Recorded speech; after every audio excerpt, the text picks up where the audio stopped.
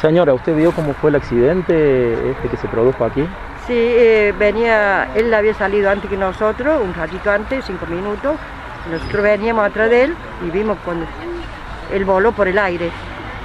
Eh, y cuando se bajó el hombre dice, me quedé dormido, me quedé dormido. Se ve que se cruzó de carril, lo chocó y lo levantó por el aire, pero ¿cómo será que, que perdió la campera, la ropa baja, la ropa interior, la gorra está a 20 metros ahí? Una plata, no sé, no sé, no, no, no, es algo horrible, es algo horrible que vi. Nunca había visto un accidente así, nunca en mi vida. Ustedes salían de trabajar De la trabajar universidad. de la cooperativa, sí. De Es una co- cooperativa que trabaja dentro de la, sí, de la universidad. Es una cooperativa de 60 socios y hay socios que trabajan a la tarde y socios que trabajan a la mañana. Ajá. Y a esta hora salían todos y Sí. él iba un poco más adelante que ustedes. Sí, Y usted alcanza a ver cuando él vuela, digamos, Cuando él cuando el auto se aire, cruza de carril y vuela. sí.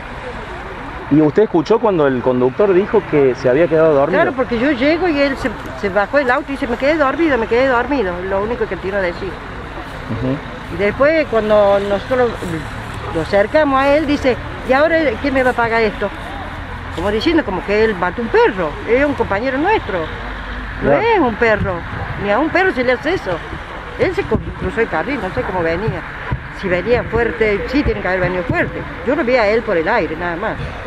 Y este señor pertenecía, digamos, A la era secretario de la cooperativa, No, no, tenía no, alguna era función. un coordinador de la cooperativa. Era coordinador de la cooperativa.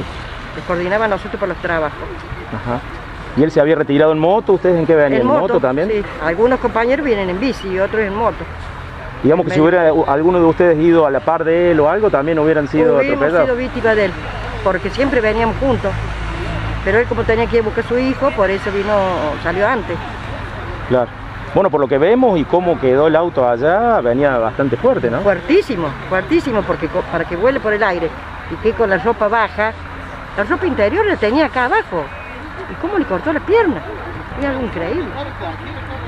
La moto está desarmada, no, tiene, no, no- sabe cómo se, se puede armar la moto. Es algo de terror. eh.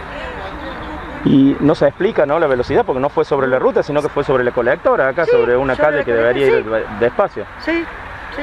Pero para mí él se cruzó de carril, no sé. Para mí él se cruzó de carril. Porque al levantarlo,